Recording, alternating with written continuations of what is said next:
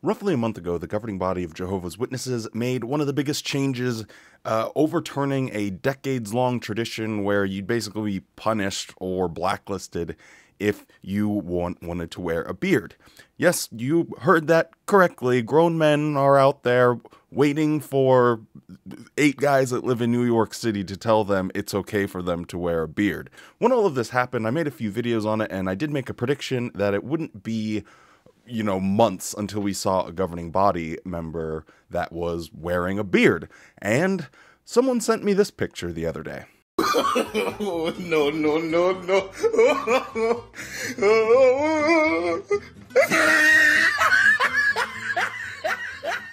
well, boy, howdy. Wouldn't you know it? Let's talk about it.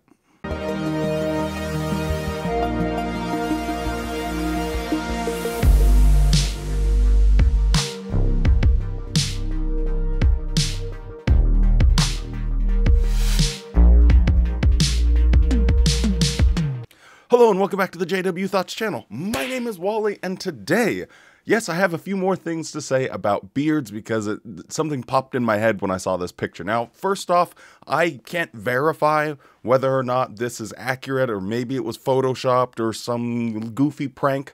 So I'll, I'll, I'll, at least say that, but if there's anyone in Bethel that wants to confirm this, that'd be awesome. Now, as I thought about what the perception of other Jehovah's Witnesses that maybe are a little bit hesitant about, oh, well, why are they making this change? Why are we all of a sudden allowed to wear beards?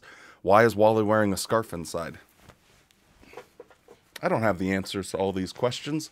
But anyway, um, one of the things that I thought is there are going to be people that are stumbled by this. They're going to be offended. They're not going to like this uh, very this change very much because it kind of changes the entire identity of Jehovah's Witnesses.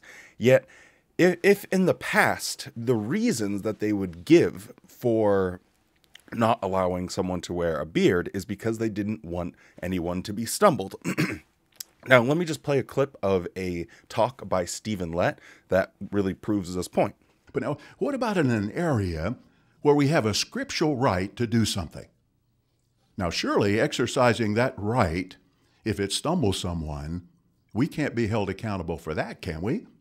Well, open up to 1 Corinthians chapter 8. And here, very interestingly, this scripture answers that question. I don't think it means what you think it means. It says, But keep watching that your right to choose does not somehow become a stumbling block to those who are weak. Isn't that interesting? Even our right to choose, if it would stumble someone, we wouldn't exercise that right according to this scripture. The Apostle Paul, in verse 13 of that same chapter, he said he wouldn't even eat meat ever again if it stumbled his brother. Well, like Paul, are we willing to forego our rights regarding, for example, wearing a beard, wearing heavy makeup, uh, using alcohol is just a few examples. If exercising that right might even possibly stumble someone. So his entire talk is basically about how to not offend other Jehovah's Witnesses by anything that you do because it could cause them to lose their spirituality, they could leave the congregation, blah blah blah. So the reasons for not doing it, and this is just a few years ago, and he says clearly like, well, why would you insist on your personal freedom? To wear a beard if it might stumble someone. Well, couldn't you apply that exact same logic in this situation? The governing body, I'm sure, are aware that there are people that are Jehovah's Witnesses that are going to be stumbled by this. They will be offended, and it might even cause them to just get up and leave and stop being a Jehovah's Witness. And yet they don't care, which is such a strange power dynamic when you really think about it because they are allowed to insist on their personal freedoms. They are the rule makers. And yet they're telling everyone else, hey, don't insist on your personal freedoms. They, they were sitting around like, you know what? I would really like to grow a beard. And now the governing body just gets up and say, yeah, it's okay now because we want to do it. Wouldn't that be them insisting on their personal freedoms?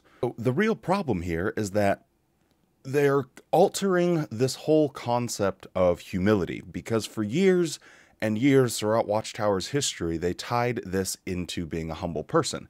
Here's an excerpt from their Insight on the Scriptures, Volume 1, under humility, and it says, uh, Works for peace. Humility promotes peace. A humble person does not fight his Christian brothers in order to establish his supposed personal rights. The apostle argued that, though he had the freedom to do all things, he would do only the things that are upbuilding, and if a brother's conscience was bothered by his personal actions, he would refrain, refrain from that practice. So this is by Watchtower's own words, their own their own doctrine. This act of the governing body saying, "Okay, you guys can wear beards now, and so can we." It is demonstrably a lack of humility. In in their in their doctrine, if you insist on your personal freedoms or your apparent freedoms, then you are not a humble person. You shouldn't be in a position of power. You shouldn't get any privileges. We're going to have to, like, basically make your life miserable if you insist on wanting to have a beard. So I just found it really interesting that it was so quick. I, I, I thought maybe that prediction that it wouldn't be very long. And then I guess you never can really downplay the absolute hubris of these guys. They literally think God is talking through them. So I suppose it absolutely makes makes perfect sense. So anyway, I just wanted to uh, give you guys that little update on that thing I saw. Again, allegedly, I don't know if it was photoshopped. but I need to get some water because I can't talk anymore. With all of that being said, if you're still around, don't forget to drop a like on the video and subscribe to the channel. It helps to get out to more people on YouTube. Stay safe, be kind, and show yourself the same kindness that you show to others. And have a good ass day.